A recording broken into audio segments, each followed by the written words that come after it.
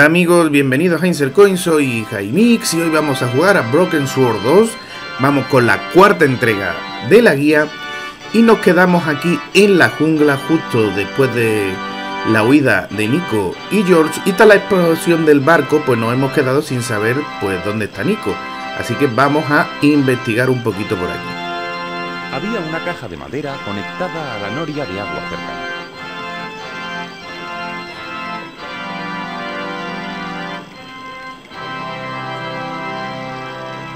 Las dos piedras redondas estaban puestas en equilibrio en una estructura de madera. Aquí tenemos dos piedras que pueden ser usadas a modo de plancha, pero que necesitamos algunos elementos más. Para ello nos vamos a volver a la derecha del todo y vamos a coger unas enredaderas que se encuentran en la rueda que se encuentra ahí a la derecha. Enredaderas entrelazadas habían formado lo que parecía una correa.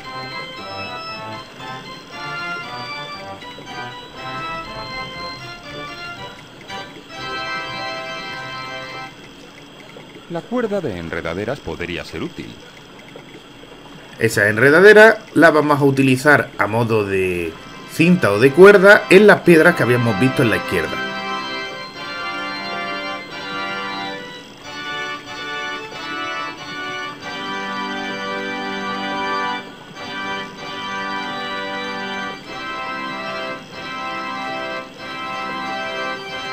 La enredadera hizo de correa para conectar las dos piedras. Era un montón de hojas húmedas. Era el recorte de periódico sobre el eclipse inminente. Ahora tenemos que llamar la atención a los habitantes de la casa. Para eso ponemos el recorte de periódico en las hojas húmedas Coloqué el recorte de periódico encima de las hojas húmedas. y utilizamos el ídolo en la noria para provocar unas chispas. Esto va a provocar un humo que va a llamar la, la atención a los que se encuentran dentro de la casa. Cuando acerqué el fetiche al borde de hierro, salió una cascada de chispas que cayó en las hojas.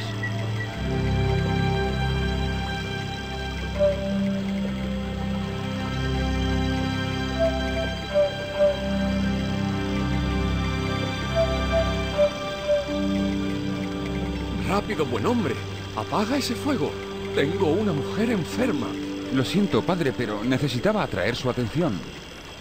En cuanto baje el cura de la casa, que va a sacar una escalera, vamos a hablar con él y agotar todas las opciones de diálogo.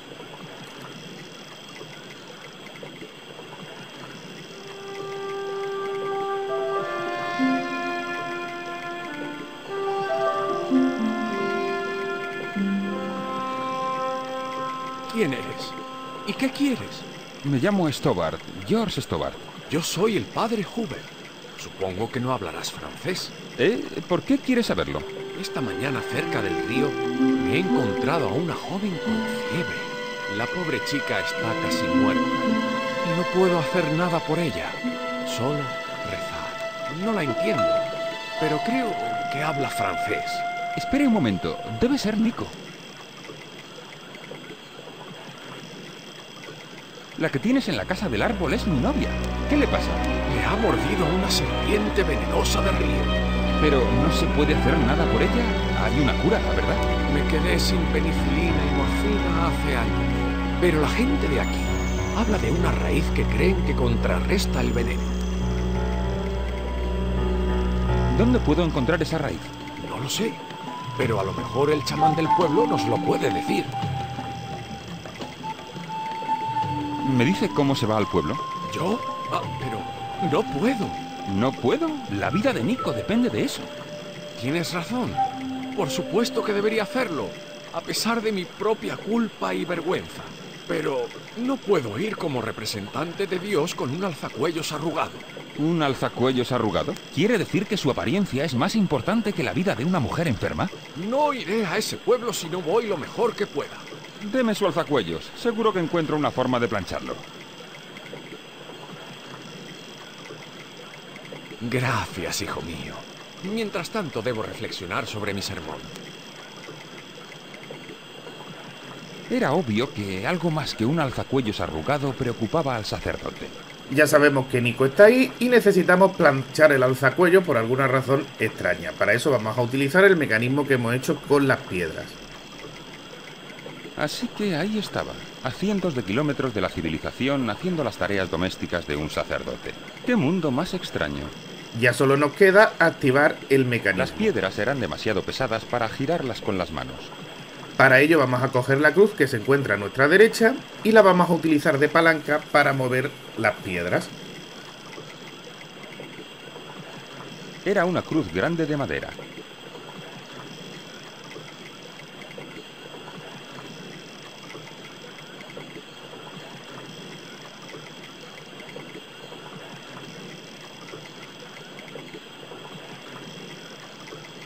Era pesada, supongo que estaba hecho a propósito.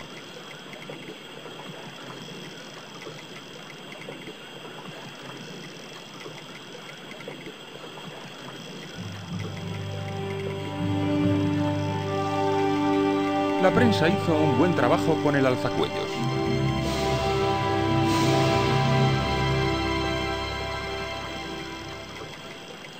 Ya tenemos el alzacuellos planchado y una excusa menos del cura para poder ayudarnos. Así que hablamos de nuevo con él.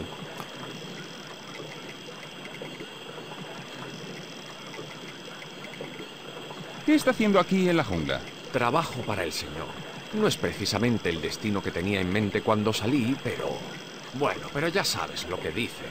Caminos inescrutables y todo eso. ¿No tenía pensado acabar aquí? No, iba de camino al campo minero en el norte. Me quedé atrapado aquí cuando mi barca encalló en el río. Eso es exactamente lo que me ha pasado a mí. ¿Cuánto tiempo lleva aquí? 11 años. Aquí tiene su alzacuellos, padre.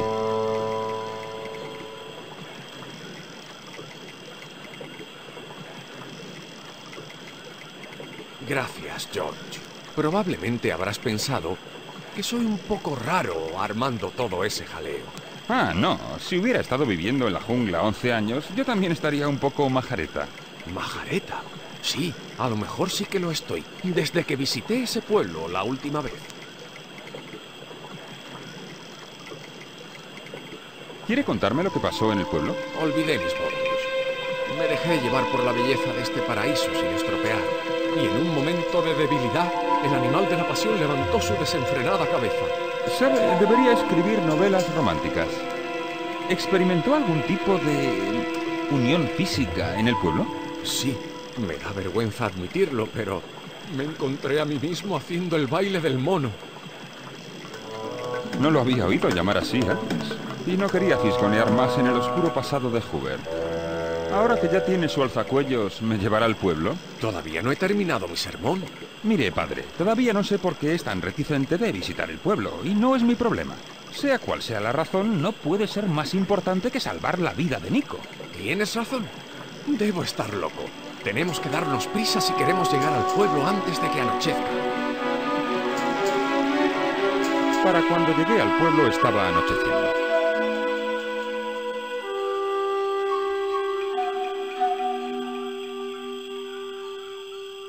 Hola, chicos.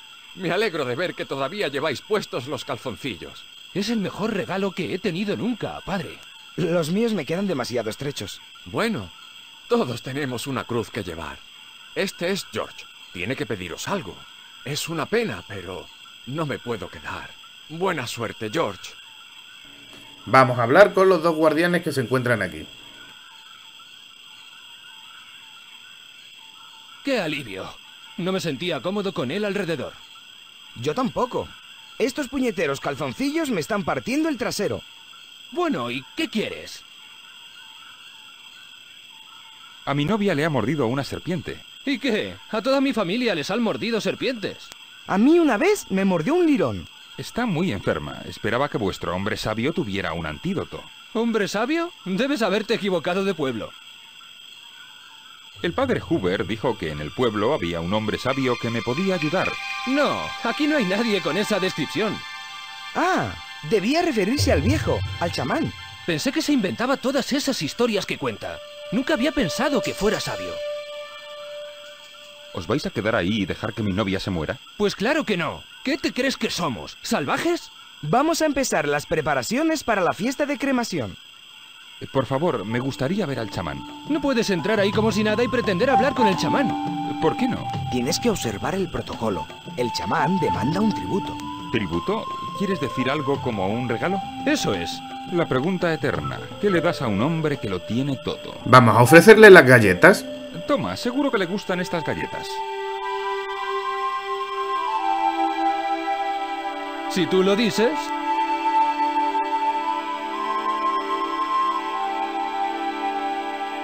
Entonces, ¿es esta tu primera visita a nuestro planeta? Soy del mismo planeta que vosotros. Pero si yo soy de California, casi somos vecinos.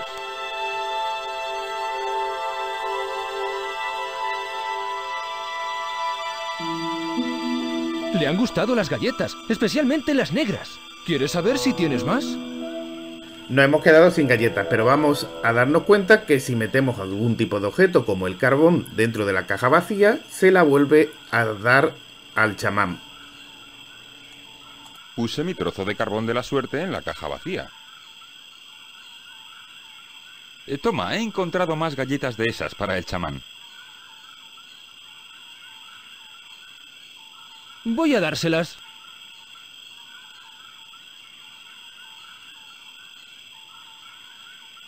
¿Qué hacéis para divertiros aquí, en la jungla? Hacemos documentales. Taptic y yo hemos aparecido en siete películas de televisión y en un artículo de National Geographic.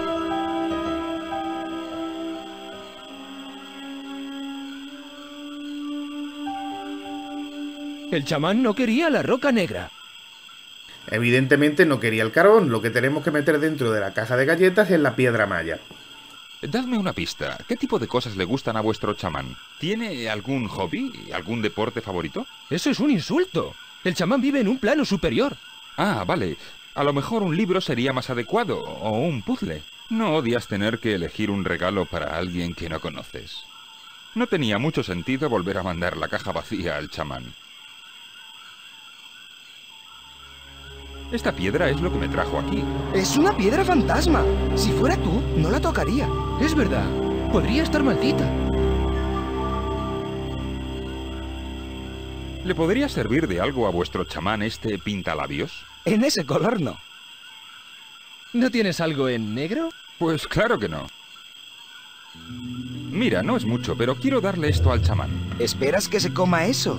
Ya sabes que es un hombre mayor. Se podría atragantar.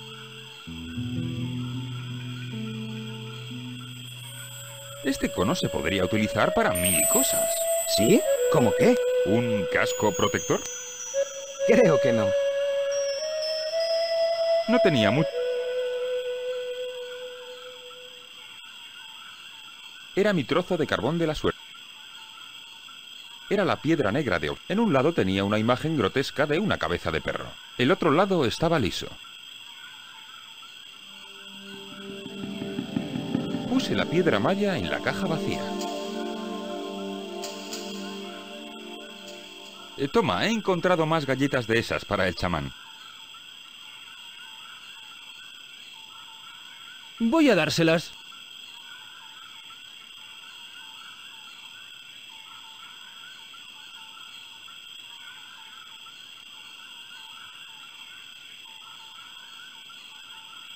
El chamán quiere hablar contigo. Tenía la esperanza de que quisiera.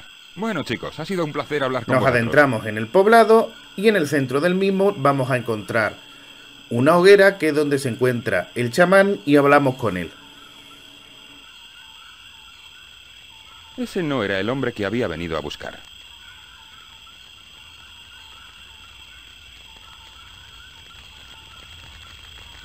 Hola, me llamo George Stobar.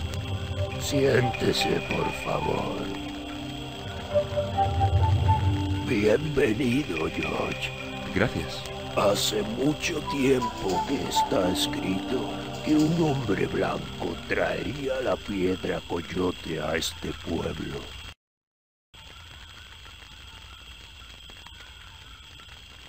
A mi novia le ha mordido una serpiente. ¿Y quiere que yo la cure? Esa es la idea. ¿Puede hacerlo? No estoy seguro.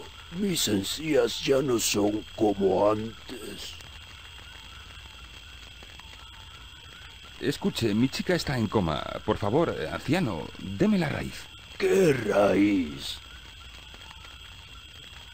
¿Por qué es el padre Huber tan reticente a visitar el pueblo? No lo sé. Solía venir mucho, pero después dejó de hacerlo. Uno piensa que le gustaría pasar tiempo con sus hijos.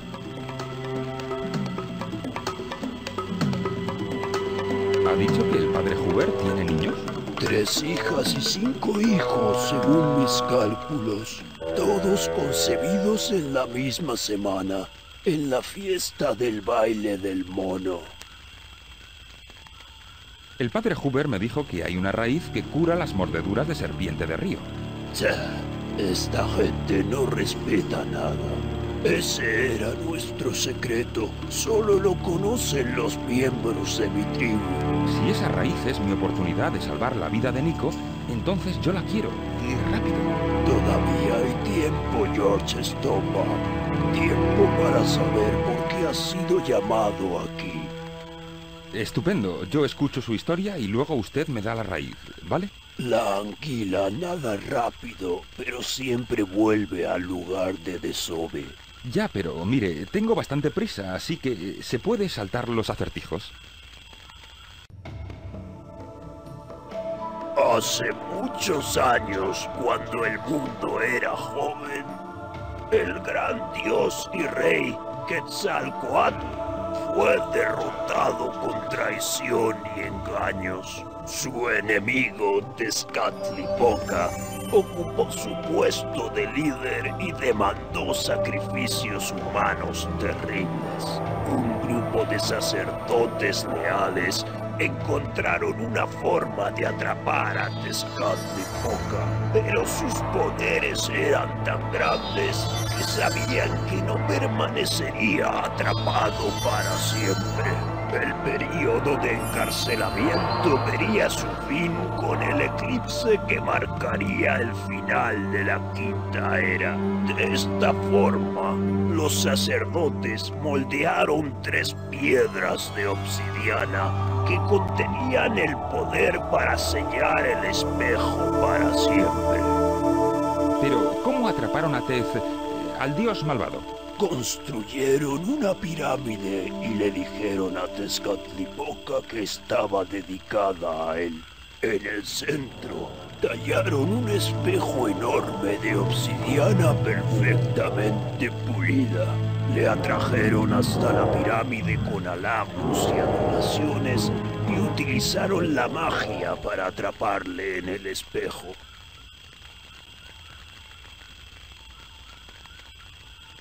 Va a haber un eclipse de sol dentro de muy poco, ¿verdad? Correcto.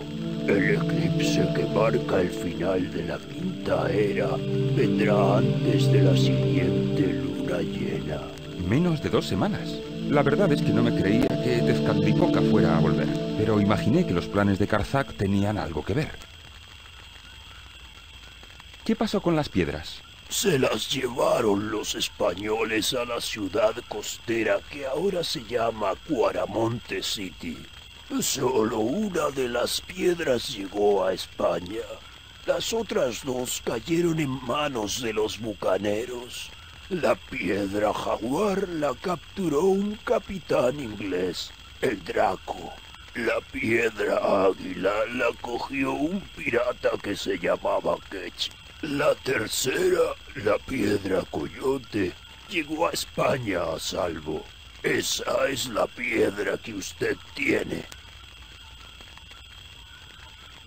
Cuénteme más sobre la piedra jaguar. Hace muchos siglos en el puerto de Cuaramonte entró un barco con los colores de España. El capitán, el hombre conocido como el Draco, envió soldados a tierra. La gente no se dio cuenta de que eran piratas ingleses hasta que los soldados arrestaron al alcalde. Retuvieron al alcalde como rehén mientras los soldados saqueaban y robaban la ciudad. Entre los tesoros que robaron estaba la piedra jaguar. ¿Dónde está ahora la piedra jaguar?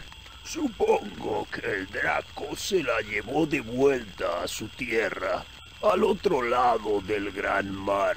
A Inglaterra. Cuénteme más sobre la piedra águila. La piedra se cargó en un galeón con muchos otros artefactos de gran valor que los españoles robaron. Pero poco después de zarpar, terrible racha de viento que dañó al barco. El barco lo interceptó un pirata sediento de sangre, el capitán Ketch. A Ketch no le costó mucho dominar a la tripulación, robar el tesoro y hundir el barco español. ¿Dónde está la piedra águila ahora? Nadie lo sabe seguro. Ketch se retiró de la piratería y compró una isla en el Caribe. ¿Qué hago cuando encuentre las piedras? Tráigamelas y yo le prepararé. Las piedras deben ser llevadas al corazón de la pirámide. Solo allí pueden usarse para sellar la puerta por la que Tezcatlipoca volverá a este mundo. ¿Me puede decir cómo se va a la pirámide de Tezcatlipoca? No hasta que posea las tres piedras. Suponga que me creo que la historia tiene algo de verdad, no solo los delirios incoherentes de un viejo completamente loco. Suponga que me trago el anzuelo, la caña y hasta la pila de la cocina. ¿Qué pasaría? Entonces vería que tiene sobre los hombros el destino de la raza humana. ¿Y no me da nada para ayudar a combatir a Tezcatlipoca? ¿Cómo qué? Bueno, no sé, ¿un arma mágica? George, sé realista. Supongo que esto no le servirá de nada. Claro que sí. Esta cera en un palo va a cambiar nuestras vidas. ¿Eh? ¿Para qué lo quiere? Para decorarnos el cuerpo para el baile del mono. Bueno, ¿y ahora me da la raíz? Aquí está. Tómela. Dese prisa si quiere salvar la vida de esa chica. El colibrí está cantándome una muerte próxima. Ya está hablando otra vez en acertijos. Oiga, ¿me puedo echar aquí a dormir? No sabría volver por la jungla a oscuras. Sea bienvenido, pero probablemente no va a dormir mucho. Esta noche es la noche del baile del mono. Ya tenemos la raíz, así que nos volvemos a la cabaña del cura para curar a Nico. Había salido del pueblo al amanecer y volví dando tumbos a través de la jungla, aturdido después de la fiesta. Era como volver a escondidas a casa de mis padres cuando era más joven, excepto que en Oakland no teníamos ni monos ni loros. Subimos por las escaleras y nos adentramos en la cabaña.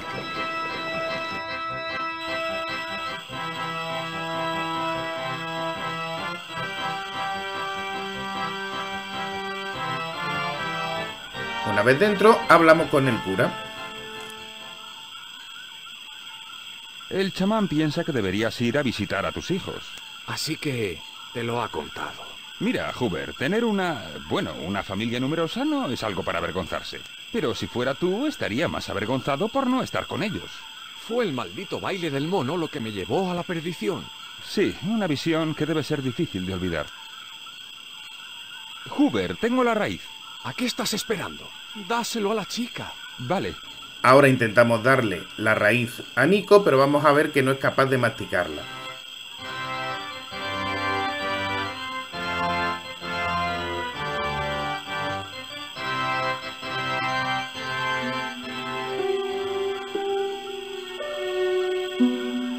Nico, te he traído esta raíz. Eh, No había manera de que pudiera masticar la raíz. Necesitaba darle el antídoto en una forma más digestible. Así que vamos a volver a utilizar de nuevo nuestro molino. Nos vamos de nuevo abajo. Y utilizamos la raíz con las piedras, dejando debajo el cono que habíamos conseguido de la estufa. El cono era ideal como recipiente provisional. De esta manera, al activar de nuevo las piedras con la raíz, vamos a conseguir hacer un zumo de la raíz que podremos darle más fácilmente como antídoto.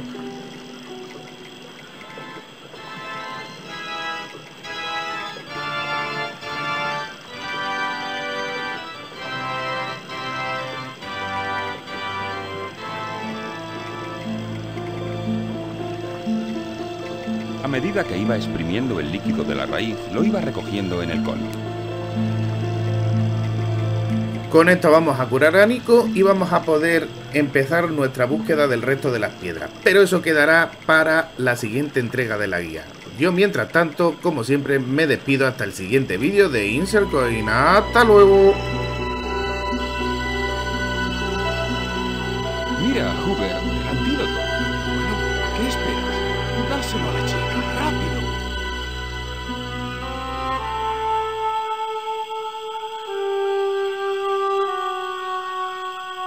Nico. Toma, bebe esto. Dios, está horrible. Venga, trágatelo.